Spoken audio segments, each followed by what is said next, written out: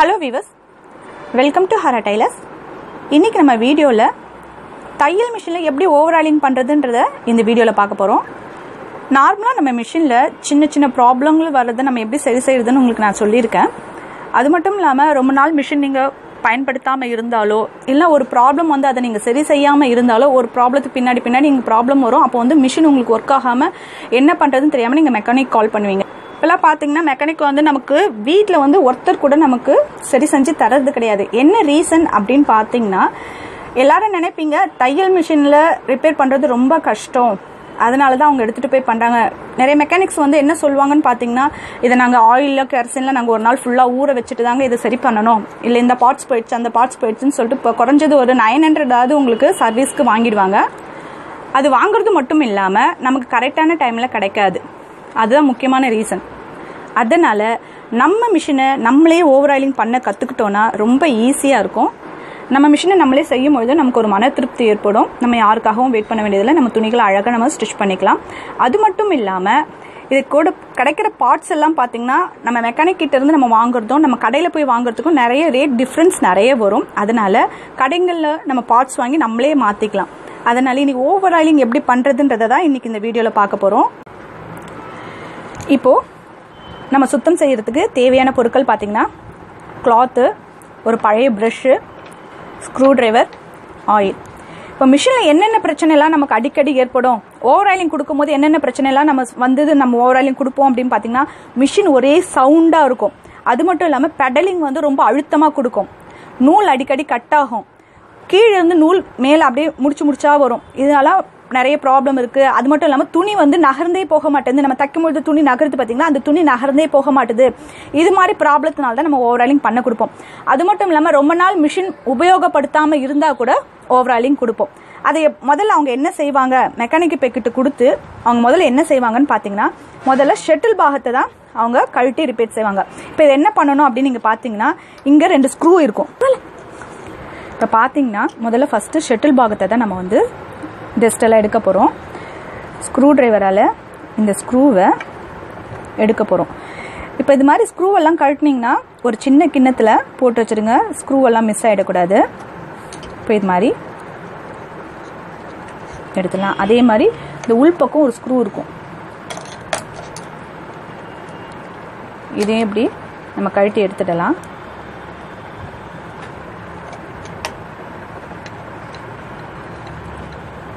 இப்போது ஃபுட்டை மேலே தூக்கிடுங்க. ஊசியும் மேலே எடுத்துருங்க. எடுத்ததுக்கப்புறமா இப்படி கழட்டினா உங்களுக்கு இப்படி தனியாக வந்துடும் இப்போ இதில் பார்த்தீங்கன்னா இந்த இடத்துலலாம் நிறைய டிஸ்ட் இருக்கும்.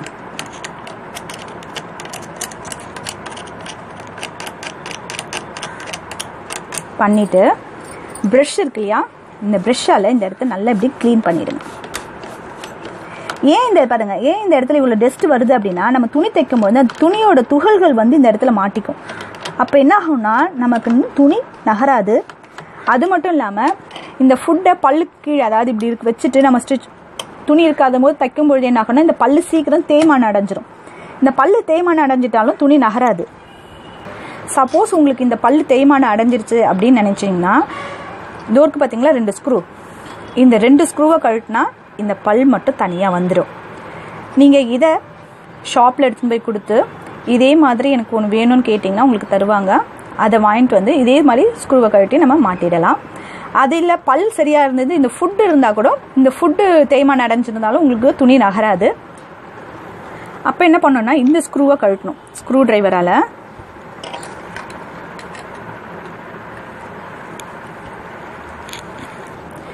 இந்த ஸ்க்ரூவை இப்படி திருப்பி இந்த ஃபுட் இப்படி எடுத்து பார்த்தீங்கன்னா இப்போ பாருங்கள் இது நல்லா இருக்குது இந்த ஃபுட்டு சப்போஸ் இது தேய்மானம் அடைஞ்சிருந்தா இந்த இடத்துலலாம் வந்து உங்களுக்கு புள்ளி புள்ளியாக அதாவது துரு பிடிச்சி புள்ளி புள்ளியாக இருக்கும் அப்போ தேய்மானம் அடைஞ்சிருக்கும். அப்போது இது வந்து குதிரை சொல்லுவோம் இதை எடுத்துகிட்டு போய் நீங்கள் கடையில் கொடுத்து கேட்டிங்கன்னா உங்களுக்கு இதே மாதிரி ஒன்று கொடுப்பாங்க. நீங்கள் அதையும் வாங்கிட்டு வந்து இதை பாருங்கள் இந்த ஸ்க்ரூ பாதியில் கழட்டியிருக்கோம் இல்லையா? இப்போ அப்படி விட்டு இப்படி ஃபிக்ஸ் பண்ணிவிட்டு இந்த ஸ்க்ரூவை இப்படி திருப்பிடலாம். பார்த்தீங்கன்னா இதெல்லாம் சின்ன சின்ன ஒர்க்கு தான். கையால் முதல்ல ஃபிக்ஸ் பண்ணிவிட்டு அதுக்கப்புறம் ஸ்க்ரூ ட்ரைவரால் நல்லா டைட் பண்ணிவிடுங்க ஏன்னா மிஷின் நீங்கள் தைக்க தைக்க என்ன ஆகும் அப்படின்னு பார்த்தீங்கன்னா அதிர்வால இது லூஸ் ஆயிடுச்சுன்னு வச்சுக்கோங்களேன். உங்களுக்கு ஃபுட்டுக்கு தனியாக கழுண்டு வரதுக்கான சான்சஸ் இருக்குது அது மாதிரி ஃபுட்டு கழுண்டு வரும்போது நீங்கள் மிஷின் ஆப்ரேட் பண்ணிட்டு இருந்தீங்கன்னா ஊசி உடையிறதுக்கும் நிறைய சான்சஸ் இருக்குது அதனால நீங்கள் ஃபுட்டு மாற்றுறதா இருந்தாலும் மாற்றிடலாம் சப்போஸ் உங்களுக்கு துணி நகராமல் இருந்து உள்ளே இருக்க இந்த பல் மாற்றுறதா இருந்தாலும் மாற்றிடலாம் இதில் வேறு எந்த ஒரு பிரச்சனையுமே கிடையாது. இந்த இடத்த நம்ம நல்லா க்ளீன் பண்ணிட்டோம். ஓகேங்களா? க்ளீன் பண்ணி முடிச்சதுக்கப்புறமா இந்த இடத்துல ஆயில் விட்டுடலாம். இது மாதிரி மாதத்துக்கு ஒரு தடவை நீங்கள் இது மாதிரி செஞ்சீங்கன்னா உங்களுக்கு மிஷினில் எந்த பிரச்சனையுமே வராது. இப்போ நம்ம இந்த பகுதியை நம்ம க்ளீன் பண்ணிட்டோம். ஃபுட்டு சரியாக இருக்கான்னு பார்த்துட்டோம். கீழே இருக்க பல் சரியாக இருக்கான்னு பார்த்துட்டோம் இல்லையா? இப்போது எப்பவும் போல் இதை ஃபிக்ஸ் பண்ணிடலாம். இது ஃபிக்ஸ் பண்ணும்பொழுது ஃபுட்டு கீழே இறங்கியிருக்கக்கூடாது ஊசியும் கீழே இறங்கியிருக்கக்கூடாது இப்போ நம்ம ஸ்க்ரூவை இதில் வச்சு டைட் பண்ணிடலாம். இப்போ அடுத்து நம்ம க்ளீன் பண்ண வேண்டிய இடம் பார்த்திங்கன்னா இந்த பார்ட் இந்த பாட்டில் பார்த்தீங்கன்னா ஒரே ஒரு ஸ்க்ரூ தான் இருக்கும் இங்கே. இந்த ஒரு ஸ்க்ரூவை நம்ம இப்போ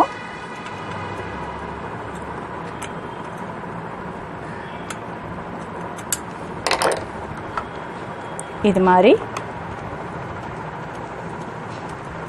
எடுத்துட்டோன்னா இது நமக்கு தனியாக கழுண்டு வந்துடும் இப்போ பார்த்தீங்கன்னா பாருங்கள் உள்ளே எவ்வளோ டெஸ்ட்டாக இருக்குது ஓகேங்களா இப்போது இதை முதல்ல உள்ளே அந்த துண்டு துண்டு துணியெலாம் இருக்க மாதிரி தெரியும். பார்த்தீங்கன்னா தெரியும் பாருங்கள் எப்படிலாம் வருது பார்த்தீங்களா இதெல்லாம் நம்ம முதல்ல இந்த ப்ரெஷ்ஷால் தள்ளிடணும்.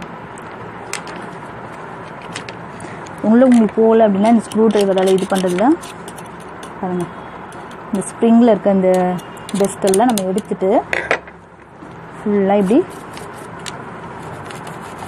எப்பவுமே ஆயில் விடுறதுக்கு முன்ன இது மாதிரி க்ளீன் பண்ணிவிட்டு நம்ம விட்டோம்னா ரொம்ப நல்லது. டஸ்ட் இருக்கும் போதே ஆயில் விட்டோம்னு வச்சுக்கோங்க. அது இன்னும் அப்படியே ரொம்ப அழுக்காக தான் இருக்கும். இப்போ இதில் இன்னொரு முக்கியமான விஷயம் என்னன்னு பார்த்தீங்கன்னா இந்த இது இருக்குது பார்த்தீங்களா இந்த தலை?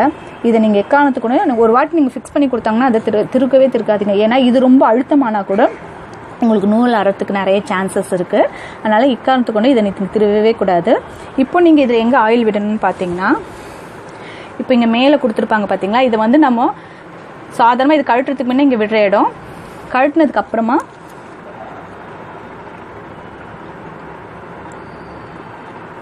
இது மாதிரி ஆயில் விட்டதுக்கு அப்புறமா மிஷின் நீங்கள் கொஞ்சம் ஆப்ரேட் பண்ணணும்.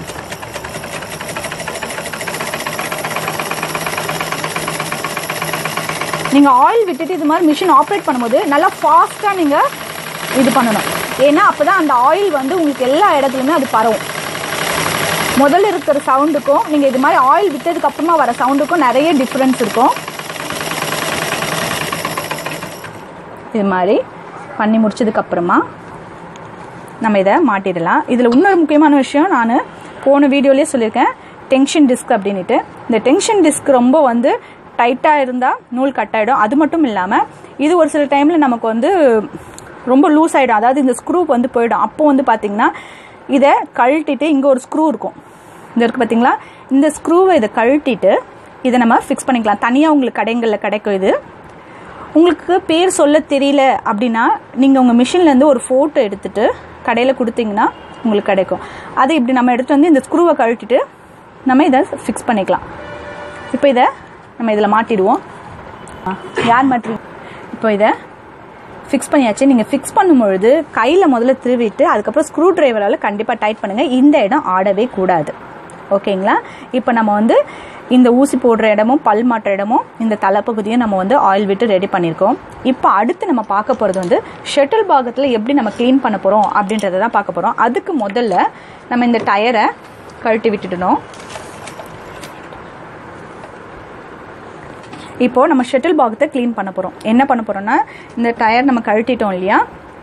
தனியாக கழட்டி வச்சதுக்கப்புறமா மிஷினை இப்படி தூக்குனீங்கன்னா உங்களுக்கு வந்துடும் நீங்கள் பயப்படவே தேவையில்லை. அழகாக இப்படி தூக்கி மிஷின் மேலேயே இப்படி வச்சிடலாம்.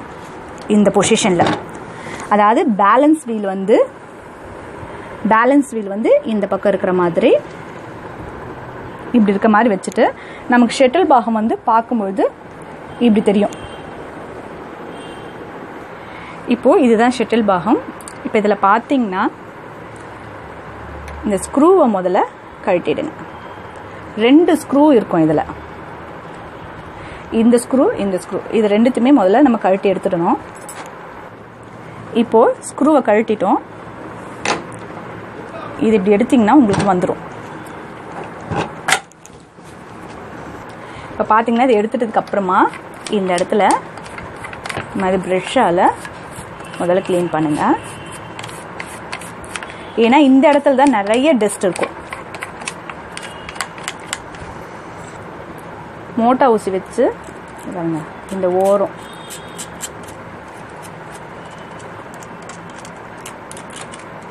இருக்கிற அந்த த்ரெட்டெல்லாம் நீங்கள் எடுத்துட்டிங்கன்னா உங்களுக்கு நல்லா ஃப்ரீ ஆகிடும் இப்போது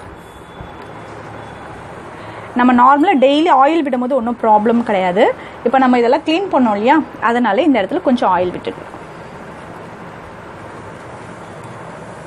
நீங்கள் இது மாதிரி பண்ணிங்கனாலே மாதத்துக்கு ஒரு வாட்டி நம்ம மிஷினை நம்ம இது மாதிரி பண்ணோம்னாலே நமக்கு எந்த ஒரு பிரச்சனையுமே வராது. இப்போ இதில் ஆயில் விட்டுட்டோம். இப்போ நம்ம இதுலேருந்து ஷெட்டில் பாகத்தை இதில் கழட்டணும் இல்லையா? இப்போ இதில் என்ன நம்ம பண்ணணும்னு பார்த்தீங்கன்னா இப்போ பார்த்தீங்கன்னா நம்ம கழட்டி ரெடி பண்ணியிருக்கோம் இல்லையா இதை? இதை அப்படியே இப்படி திருப்பிடுங்க. திருப்பினா இந்த பக்கம் ஒரே ஒரு ஸ்க்ரூ மட்டும் இருக்கும். இந்த ஒரு ஸ்க்ரூவை மட்டும்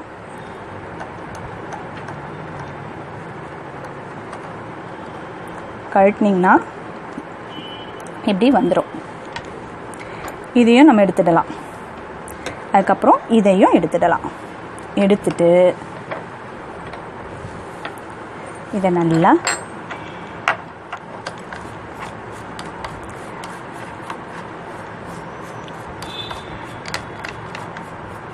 இப்படி க்ளீன் பண்ணிடணும். க்ளீன் பண்ணிவிட்டு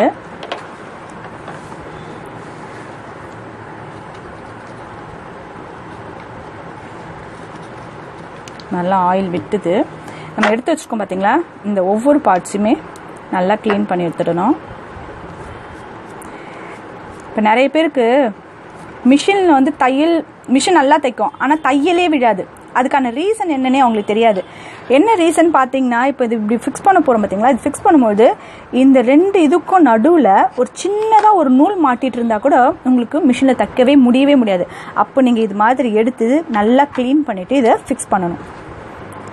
இப்போ இதை க்ளீன் பண்ணிட்டோம். ஃபிக்ஸ் பண்ணும்பொழுது இப்படி வச்சுக்கோங்க கையில்.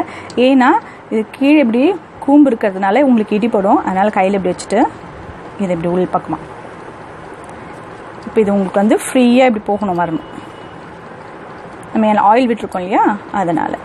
இப்போ அதுக்கு மேலே இந்த பீஸ் இந்த ரெண்டு இது இருக்குது பார்த்தீங்களா அது இந்த ஹோல்ஸில் வந்து நிற்கணும் ஓகேவா அதுக்கப்புறமா இந்த சென்டர் ஓல் இருக்குது பார்த்தீங்களா இதில் இப்படி வச்சுட்டு இந்த சென்டர் ஹோலில் வந்து இதை இங்கே வச்சுட்டு நம்ம டைட் பண்ணணும். இப்போ வந்து பார்த்திங்கன்னா இதை இப்படி தள்ளும் பொழுது நமக்கு ரொம்ப ஈஸியாக வரும். ஏன் அப்படின்னு பார்த்தீங்கன்னா நம்ம ஆயில் விட்டு நல்லா ரெடி பண்ணியிருக்கோம் பார்த்தீங்களா அந்த இடத்துல ஸ்டெக் ஆகாமல் இவ்வளோ நல்லா வரும். இப்போ நமக்கு இந்த ஷட்டில் பாகம் ரெடி இப்போ இதை நம்ம ஃபிக்ஸ் பண்ணிடலாம். இப்போது இதில் எப்படி ஃபிக்ஸ் பண்ணணும்னு பார்த்தீங்கன்னா இது உள் பக்கமாக போக வேண்டியது. இதை அப்படியே இப்படி திருப்பிட்டு கரெக்டாக இதில் பார்த்தீங்கன்னா ரெண்டு ஹோல் தெரியும் பாருங்கள் இதில் இப்படி வச்சு இது வைக்கும் பொழுது என்ன ஆகும்னா இப்போ பாருங்கள் இந்த யூ மாதிரி பார்த்தீங்களா இதுக்கு ஆப்போசிட்டில் இது இப்படி வைக்கணும். அப்போ தான் உங்களுக்கு அங்கே ஃபிக்ஸ் ஆகும். சப்போஸ் இதை இப்படி வச்சுட்டு இது பண்ணிங்கன்னா உங்களுக்கு இப்படி உள்ளே போகவே போகாது. நிறைய பேர் என்னென்னா இது மாதிரி பண்ணு நான் நிறைய பேருக்கு சொல்லியிருக்கேன். ஆனால் இது மாதிரி ஏதாவது இப்படி பண்ணிவிட்டு ஐயோ நான் பண்ணி பார்த்தேங்க எனக்கு வரவே இல்லை அப்படின்வாங்க தயவு செஞ்சு கொஞ்சம் யோசனை பண்ணிவிட்டு நீங்கள் பண்ணுங்கள் பாருங்கள் இப்படி வச்சுட்டுங்க. இப்போ இந்த இங்கே யூ மாதிரி இருக்கு இல்லையா? அதனால் இந்த யூ வந்து இப்படி தலை கீழே வரணும் இப்படி வந்து.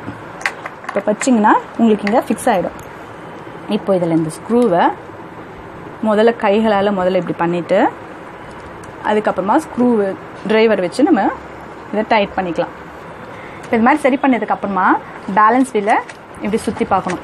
உங்களுக்கு எந்த ஒரு இதுவும் இல்லாமல் ஊசி உள்ளே இறங்கி இறங்கி வந்துச்சுன்னா உங்களுக்கு சரியாக இருக்குது நம்ம ஃபிக்ஸ் பண்ணது கரெக்டாக இருக்குது அப்படின்னு அர்த்தம். இப்போ நம்ம செட்டில் பாகத்தையும் கழட்டி நம்ம க்ளீன் பண்ணிட்டோம். இப்போ அடுத்து நம்ம பார்க்குறது மிஷின் அப்படியே இப்படி திருப்பினீங்கன்னா இங்கே ஒரு ஸ்க்ரூ இருக்கும். இந்த ஸ்க்ரூ எதுக்குன்னு பார்த்தீங்கன்னா ரொம்ப மிதி வாங்கினாலோ நமக்கு இதுவாக இருக்கும் இல்லையா? இது வந்து லைட்டாக கொஞ்சம் லூஸ் பண்ணிக்கலாம். இல்லை கொஞ்சம் டைட் பண்ணிக்கலாம். நமக்கு ஏற்ற மாதிரி. ரொம்ப லூஸாக இருக்குன்னு நினச்சிங்கன்னா கொஞ்சம் டைட் பண்ணிக்கோங்க. ரொம்ப டைட்டாக இருக்குன்னு நினச்சிங்கன்னா கொஞ்சம் லூஸ் பண்ணிக்கிட்டிங்கனாலே உங்களுக்கு க்ளீன் ஆகிடும் இப்போ அடுத்து இந்த பாகம் இருக்குது பார்த்தீங்களா இதை முதல்ல நல்லா ப்ரஷ் பண்ணிவிடுங்க எப்பவுமே பாருங்கள் நல்லா ப்ரஷ் பண்ணி முடிச்சதுக்கு அப்புறமா தான் நம்ம ஆயிலெலாம் விடணும். இது மாதிரி க்ளீன் பண்ணிவிட்டு ரெடி பண்ணிக்கலாம். இப்போ இதை பார்த்தீங்கன்னா நம்ம ஃபிக்ஸ் பண்ணுறதுக்கு முன்னாடி இந்த இடத்த முதல்ல க்ளீன் பண்ணிடணும்.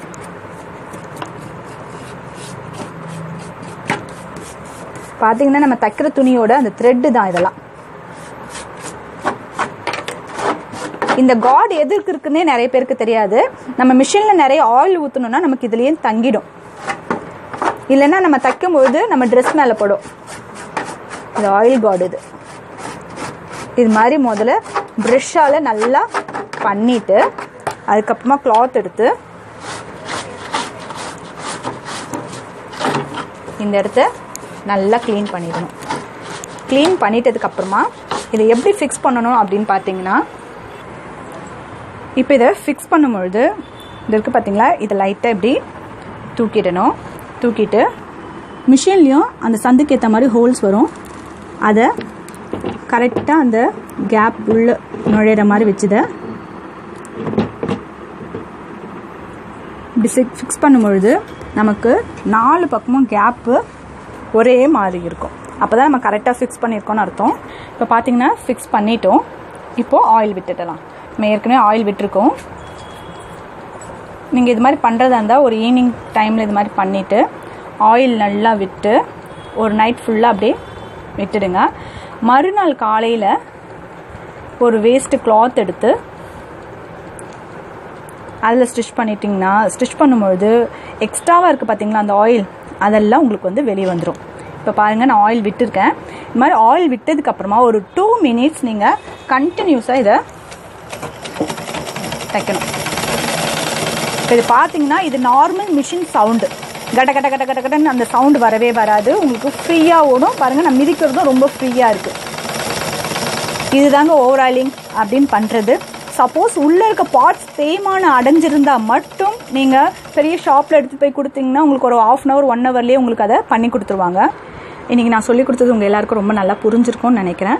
அதனால் இனிமேல் பெரும்பாலும் நீங்கள் வந்து சின்ன சின்ன ப்ராப்ளம்ஸ் இருந்தாலோ இல்லை நீங்கள் மிஷின் இது மாதிரி கழட்டி செய்கிறதுக்கோ பயப்படவே பயப்படாதீங்க.